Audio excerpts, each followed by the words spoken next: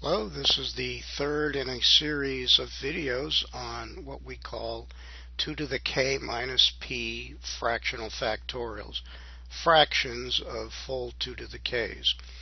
Prior to watching this video, you should have watched the first two videos and read the notes uh, on fractional factorial designs parts 1 and 2.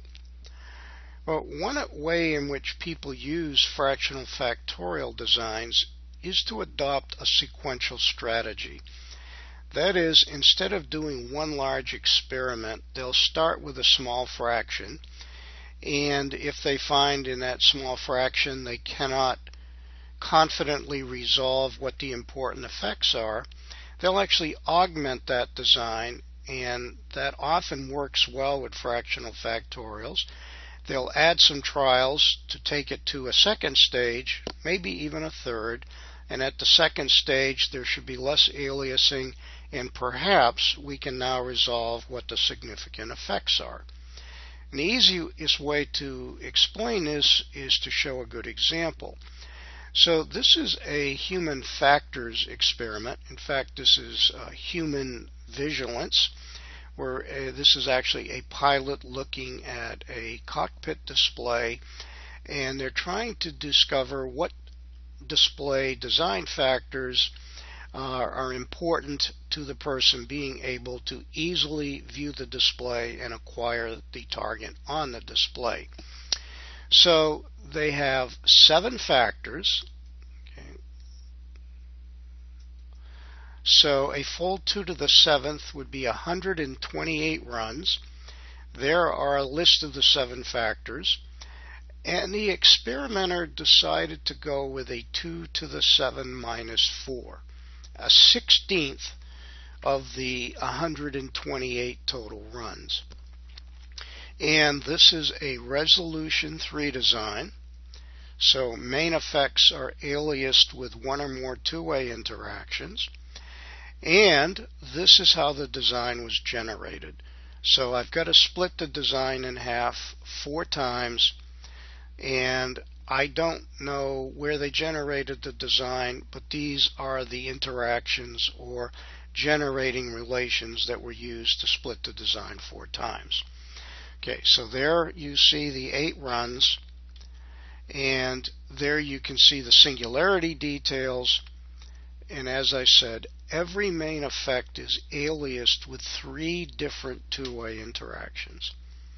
I basically can look at this and say there is no way we'll ever figure out if significant effects are main effects or two-way interactions. There's just too much, the alias chains are simply too long and there are too many possibilities for two-way interactions. But to illustrate, I'll go ahead and I'll just quickly show you JMP. I'll do an analysis of the data. Again, this design is not replicated, so I would have to use the screening platform. So I go to Analyze, Modeling, Screening. I'll put in my seven factors and time is the response. And again, JMP is only going to show you the main effects. Keep in mind the main effects are aliased with many different interactions. And you can see four of them, B, D, A, and G, seem to be significant. But take a look at the alias chain. Okay. So D is aliased with three two-way interactions that could involve A, G, E, and F. B likewise, G likewise, and A likewise. In other words, I have no idea what's going on. These could be main effects, they could be two-way interactions, and probably some combination of both. So at this point, uh, there's no strategy that will reduce this design. In other words, I can't throw out any main effects. There's just too much confounding. So basically, the researcher has not gotten very lucky on the first attempt. So what we would want to do at this point is augment the design. In other words, I need to add additional trials so that I can break the aliases between the main effects and the two-way interactions. In other words, I want to go from a resolution 3 to a resolution 4. So remember, in resolution 4, two-way interactions are only aliased with two-way interactions. So how would I do this? Well, it turns out if I add eight additional runs, I can actually accomplish the task of moving from resolution 3 to 4 if I pick the right eight runs. So the data set I movement 2 has the uh, two sets of runs. Notice they've been put in separate blocks. They were done at separate uh, points in time. And what we're going to do is actually take a look at this design. Okay. So I'm going to call up the I movement 2 and then later I'm going to show you how this was actually generated. So I'm going to go to fit model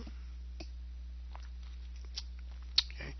and I know that there's aliasing between two-way interactions. So again, I'll show you, I'll highlight all seven factors. And I'll create a factorial to degree 2. Time is the response. Okay. And as expected, okay, every two-way interaction is aliased with two others. But now they're not aliased with main effects, so now I have a chance at figuring out what's significant. So remember, from each chain, I can pick only one interaction. So we typically pick the ones by either some alphanumeric ordering. So I'm going to pick the ones on the left-hand side. All the two ways involving A, and then I'll pick the BD interaction. Okay, so we'll set that aside for now.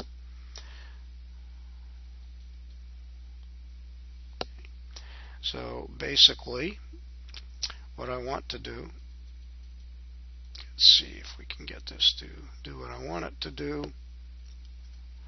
So I'm going to close that window and go to Fit Model. And I want to fit all the interactions involving A. Okay. So what I could do is like once again just fit a factorial to degree 2 go through and get rid of all the interactions I don't want. So remember I am keeping BD. So I'm going to get rid of BC, BF, BE. In fact, I'm going to get rid of all the remaining interactions. Okay. So there is final design. And I accidentally removed, I want BD, so I'm just going to add it back in. Time is the response. Okay. And again, we have the problem that there is no uh, replication if I take a look at this, by the way, I could go ahead and use the screening platform, but notice something very interesting. The biggest effects by far are B, D, and the BD interaction. It turns out that this is actually a really good model. So in 16 runs, I've determined that the only important effects are B, D and their interaction. Okay? Not bad. So what I would do is just go back to fit model and I would pick B and D and fit a full factorial model. Time is the response. And at this point, we could do things like use the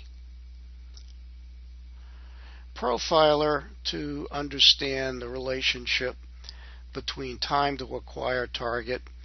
Um, in fact, we'll just do that.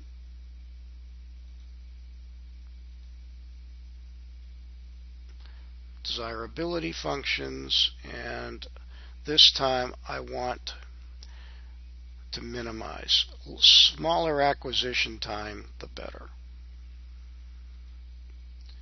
So I would just go over maximize desirability. So it would say B low and D low. Okay, so that actually has solved my problem. So even though I only I had to do 16 runs, again I've got seven factors. That's not bad. And the slides take you through the analysis that was done. And what we've actually done here is something called augmenting designs. And I'm going to take that up in the next video.